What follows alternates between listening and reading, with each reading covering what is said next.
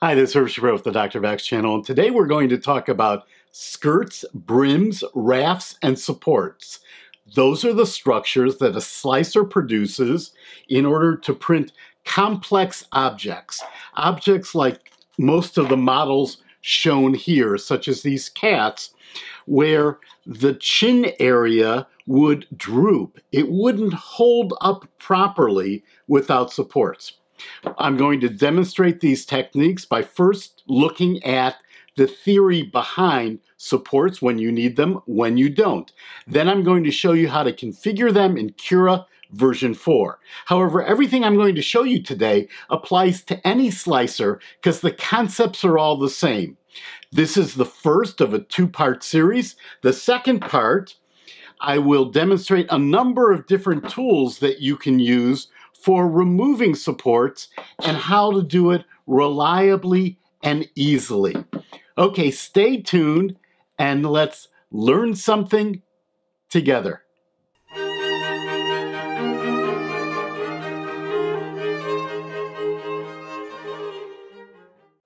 All of the slides that you're going to see on the screen today will be linked in the description down below. So let's get started by looking at this diagram on the screen to understand when you need supports. In general, a 3D printer prints by printing a layer at a time, then moving up and printing another layer. When those layers are stacked like bricks, one on top of the other, there's no problem at all.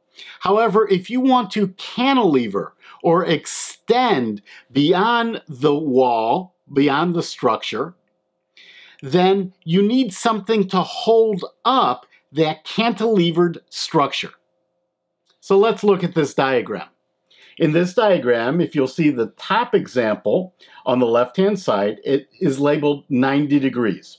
That's measured from the vertical to the angle of the cantilevered feature. A 90 degree feature will not work in a 3D printer without support. The next feature down is a 30 degree feature. Now a 30 degree feature will work depending on the length. So think about taking a board and extending it out on an angle.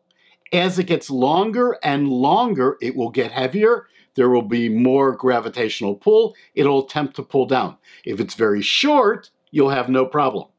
In general, 30 degree cantilevered features work just fine. In the next example, we have a 50 degree feature. That feature may or may not work depending on the printer. So let's look for a moment at an example print and you'll see this is a 30 degree feature. It printed just fine without a support. This is a 45 degree feature that also printed fine. However, this is a 60 degree angle right here that required supports or it would fall over, it would droop. And in this particular case here, we have a 90 degree feature, which also would fall over or droop. We'll look in a moment at this feature right here, which is also 90 degrees, but it, because it is bridged to another vertical structure, it is supported by the actual model. In this example, we're looking at a bridge. A bridge is where you have two columns and there is a structure on top of it. In general, almost every printer can bridge a span of five millimeters or a bit more. Some printers, depending on the filament used, the temperature printed, can bridge as far as 50 millimeters. That's something that will be printer dependent. In this particular example, we have here a bridge, so you can measure it, that is 20 millimeters. And you can see there's no problem at all. This printed just fine. In this example, we're trying to solve a different problem. If you have a vertical structure, it needs to have sufficient area touching the print bed in order to stay vertical so it doesn't fall over. And that print bed might be moving back and forth or side by side very rapidly, depending on the configuration of the printer. That's one of the advantages of the Ender 5, is the print bed only moves up and down. But on the Prusa MK3, i3 MK3, uh, on the Monoprice CR10, on most Creality printers, the print bed is moving back and forth very rapidly. So there needs to be good adhesion to the print bed. The adhesion is done by printing a surface underneath. Let's look at the screen again. If the surface is completely underneath and built up, it's called a raft. If the surface is connected on the sides, but not underneath, it's called a brim.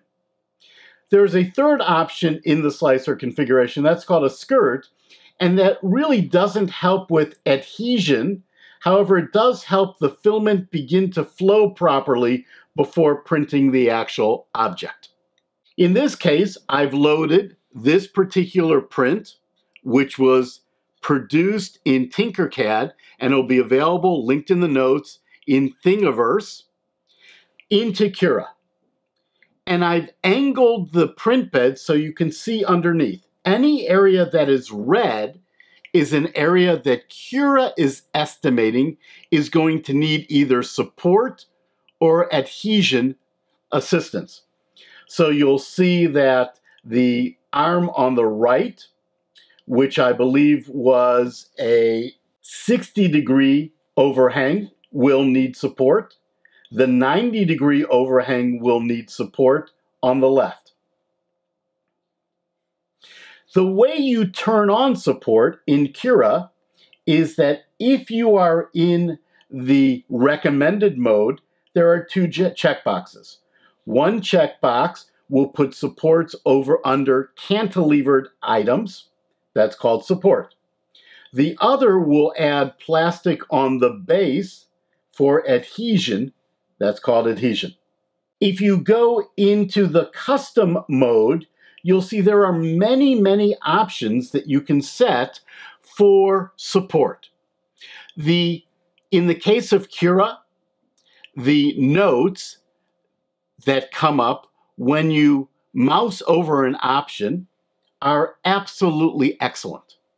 So there's no reason for me to go through all of these individual options.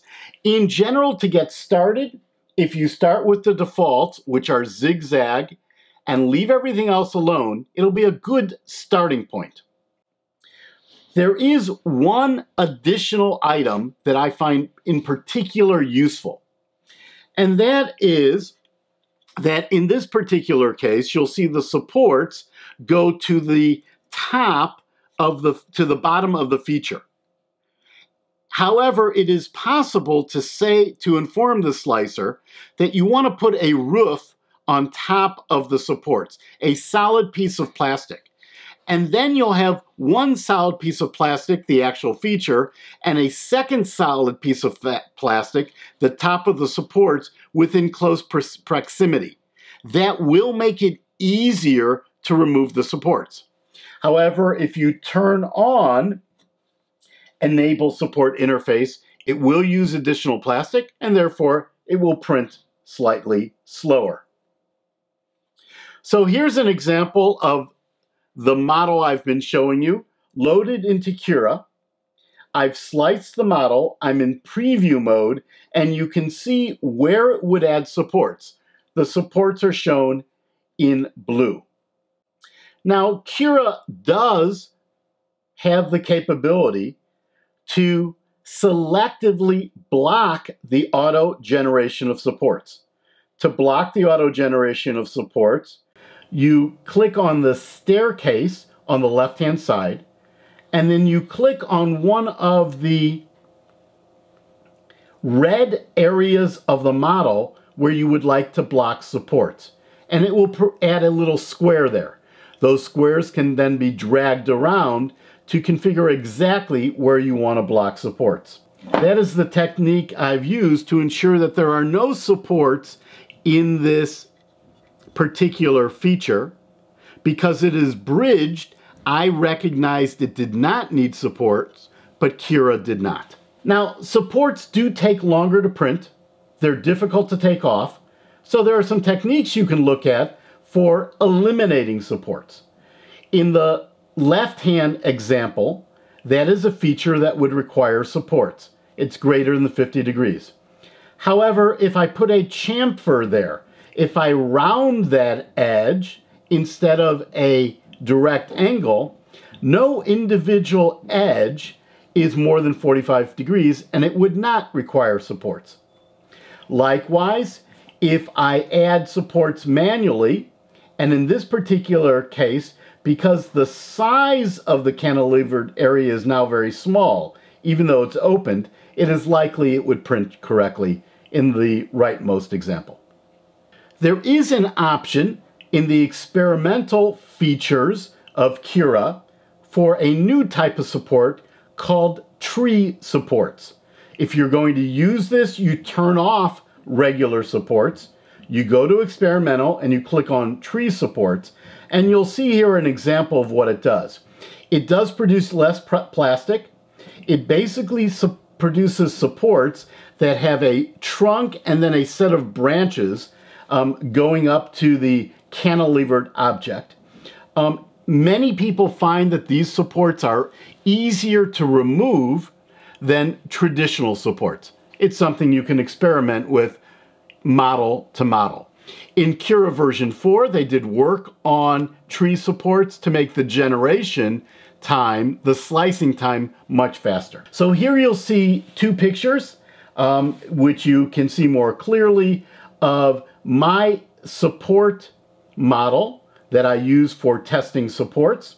You'll see on the rightmost side the example of the bridged area where there are no supports. Okay, I hope that that explanation of supports, when to use them, the difference between a brim, a raft, and um, traditional supports was also clear.